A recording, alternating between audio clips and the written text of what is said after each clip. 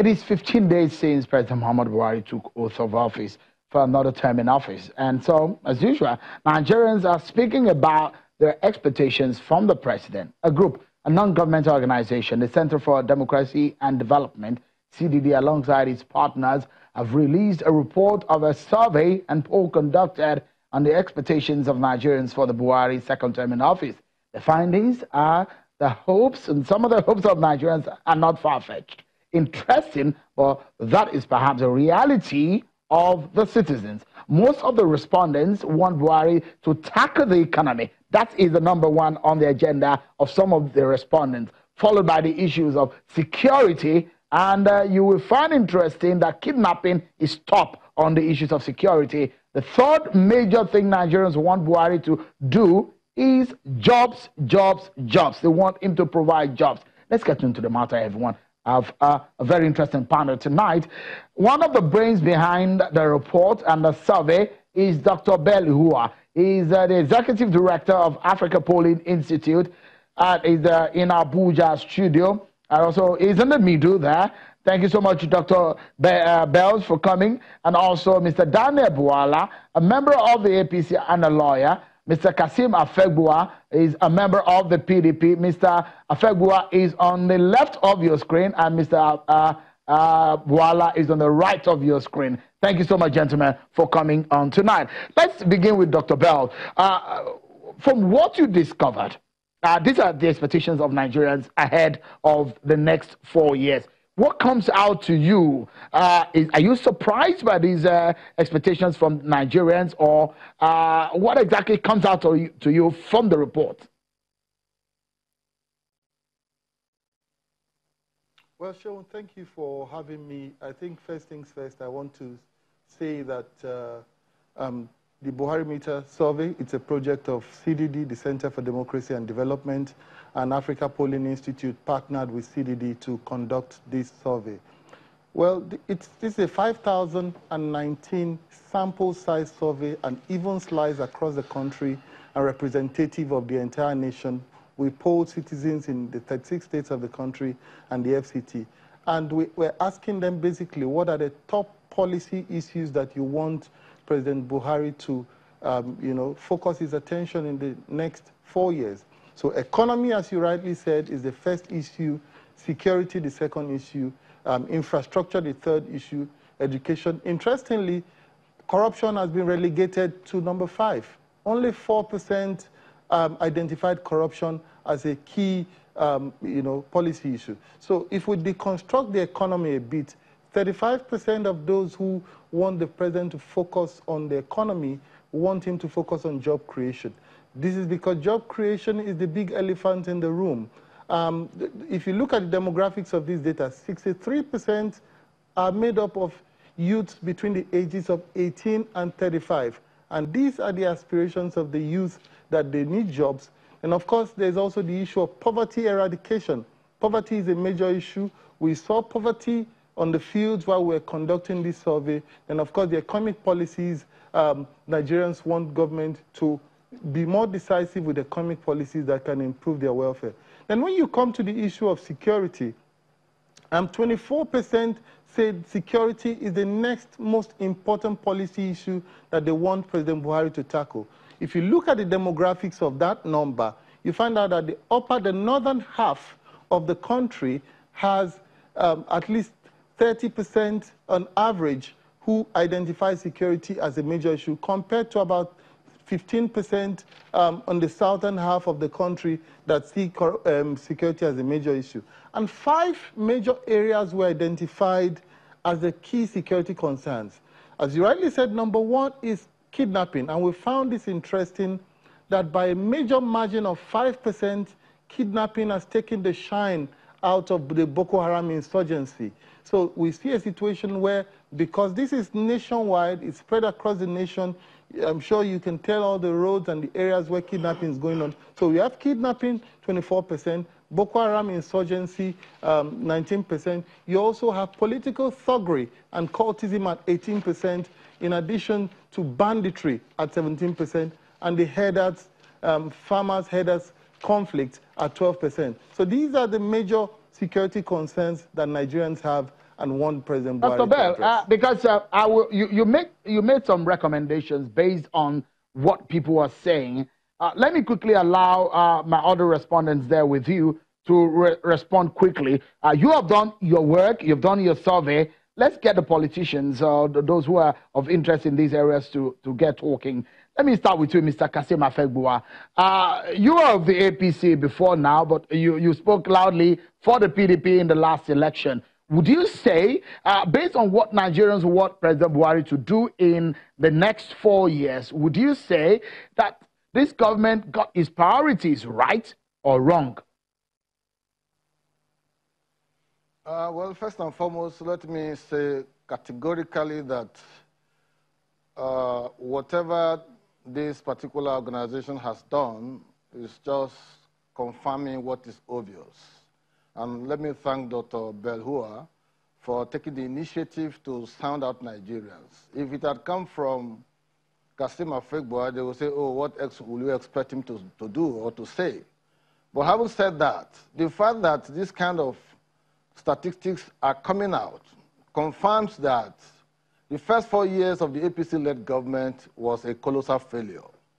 Whether anybody likes it or not, they have been the sole distributor of poverty, hunger, and deprivations in the land. And so to that extent, they don't need any reminder that the economy of the country has to be recovered, that the economy has to wear two solid foot, you know, to the extent that they will be able to create jobs uh, uh, Nigerian, Nigerian job losses rose from 12.1 million, uh, one, uh, 12.1 million uh, you know, uh, persons to 23.9 million in the last four years. That means there have been serious job losses. And so this government needs to bring back those who have lost their jobs first, before even talking about 100 million Nigerians that will be taken out of poverty in the next 10 years. So I think the APC-led federal government is just rotating in circles and expecting different results. If you want to drive your economy, you must get your security architecture right. Who are those guys who are coming to invest in your economy? Are they, are they the ones who will be facing the issue of uh, armed kidnappings, you know, and bad roads? Or are they the ones who will not be saved or whose, uh, whose uh, investment will not be saved in a country where when there are court judgments, they are hardly obeyed. So you need to get your architecture right in All the right. area of security. Let, let me let me get uh, rule of law. Yeah, yeah, so Mr. Afegbua. analysis. All right, you you, are, you you be seen to be doing the right thing. Let me get your friend who is also in white attire there, Mr. Bwala. He's of the APC. He may not agree with you totally for some of the things you raised, Mr. Bwala uh, Mr. Afegbua would describe what your party has done in the last four years as a colossal failure.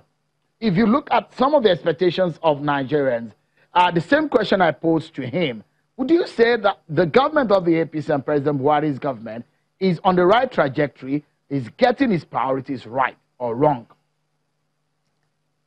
Well, uh, Mr.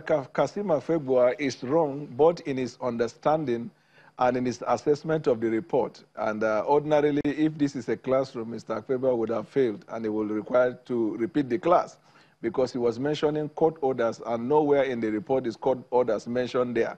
He emphasized poverty eradication as if that constitutes the highest percentage. It is even 7% in the survey report. Now, I want to start by saying that all of the elements identified in the survey report, the APC as a party quite appreciates and recognize their existence and the need for us to improve on them. I will only need to recalibrate that because uh, from the survey report, they gave 52% of the assessment from the respondents to mean that 52% uh, of the Nigerians are more particular and concerned about the economy than all other aspects. I will recalibrate it to rather put 52% at security because you need a secured environment to be able to do business. You need a secured environment to create jobs. You need secure environment to build technology. You need secured environment to be able to do uh, infrastructure. In any case, they have mentioned uh, things such as uh, education, and they gave 7%. I am of the view that the requirement for education is way above that. But in any case, the party has a comprehensive and robust policy agenda. that will address all of that. If I want to take, for example, job creation, which is the major concern of Kassim Afegbua, you will see that both from the agriculture sector, the party looks forward to creating 1 million jobs, creating additional 500,000 jobs. Even if you come to uh, school feeding program, by the time you improve the number of school feeding program, you are going to create about 300,000 jobs there. If you look at areas uh, of infrastructure and development, there are robust pol policy uh, uh, papers and policy direction that will lead us towards job creation. If you talk about poverty eradication, the minute you revamp the economy and create investment, naturally poverty will go down. If you look at the aspect of education, which is my area of emphasis, you would also see that APC as a party has proposed and we're pursuing a digitalized system of learning. Let me pause you for a moment, uh, Mr. Bwala. This is at the heart of what Nigerians are looking forward to. A lot of expectations from Nigerians. A lot of people will tell you that Nigerians do not want too many things. They just want the basic. It does look like that is reflected in this report today. But you made some recommendations, uh, Dr. Bell. Tell us, uh, summarize to us the recommendations that you made in this report.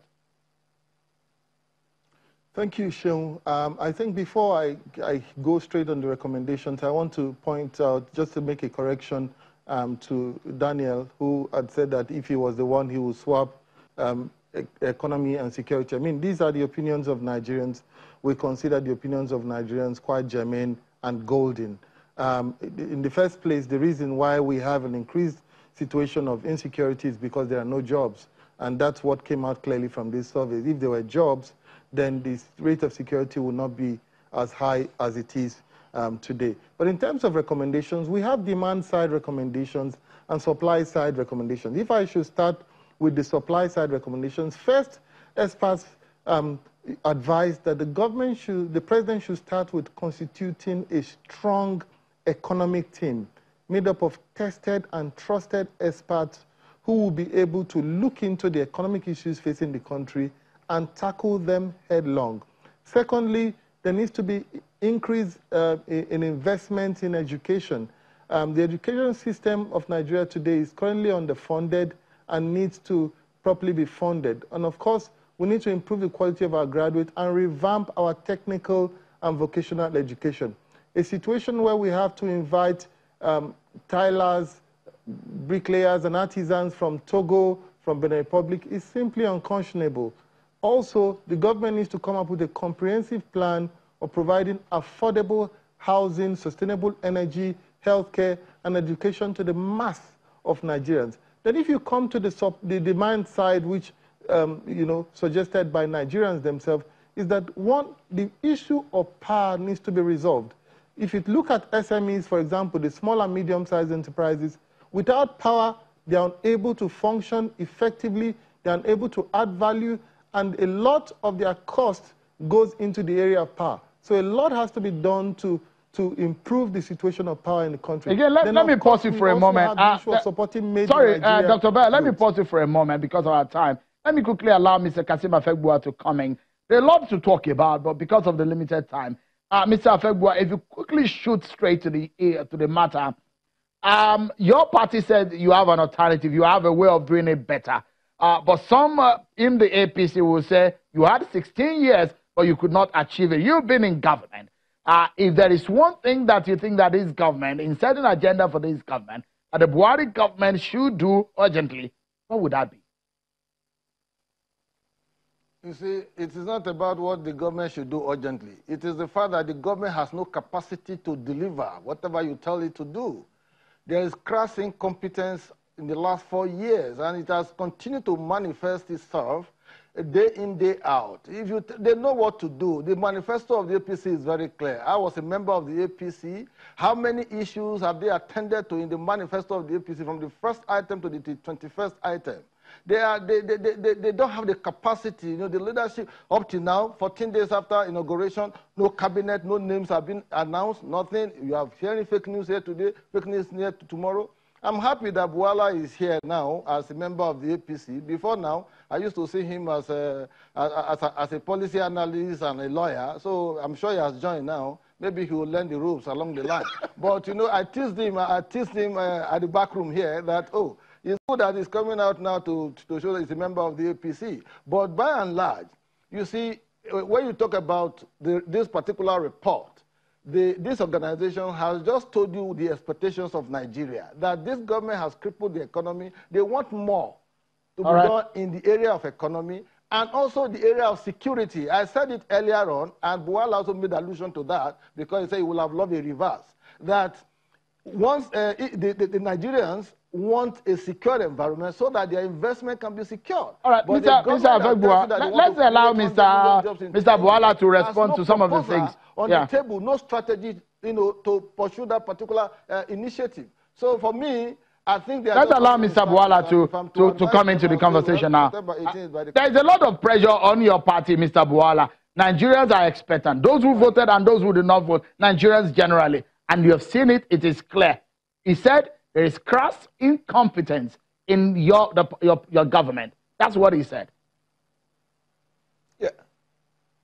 Right. Well, actually, we do not, in this second term, intend to waste our precious time trying to engage with PDP that has over 15 years not been able to prove anything that can be classified as near competence. Remember, it was during their time that they introduced ballot stuffing. It was during their time they introduced disobedience to court order. It is during their time they introduced the impeachment by force of a sitting governor.